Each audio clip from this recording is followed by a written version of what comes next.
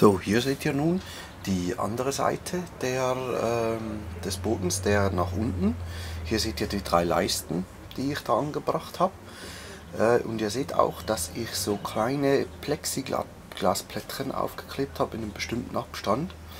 Und zwar, das hat den einzigen Hintergrund, dass zwischen dem Boden, da sind ja Ritzen drin, zwischen den einzelnen Brettern, da rinnt Wasser rein. Und das Wasser rinnt dann auf den Betonboden und rinnt über einen Abfluss ab. Und mit diesen Kunststoffplättchen sorge ich dafür, dass das Holz nie im Wasser steht. Dadurch kann es natürlich nicht anfangen zu faulen. Ähm, wenn ihr das nicht macht, dann wird euch das Ganze im Wasser stehen und mit der Zeit anfangen zu faulen. So, und dann seht ihr, ich habe das in so regelmäßigen Abständen aufgeschraubt. Ich habe pro Brett auf jeder Leiste zwei Schrauben verwendet.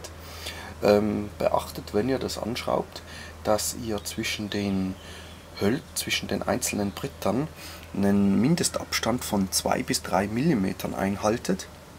Wenn ihr das nicht macht wenn, und wenn ihr die bündig aneinander aufschraubt, dann habt ihr das Problem, dass sich das Holz ja ausdehnt und dann sprengt euch das auseinander teilweise oder es werden Schrauben abgeschert.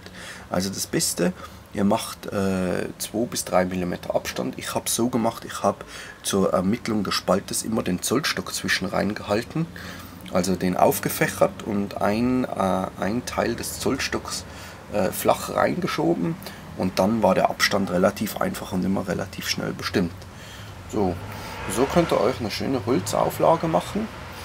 Ähm, und äh, das ist auch relativ einfach. Ich habe dafür eine Stichsäge verwendet und das war es dann auch schon.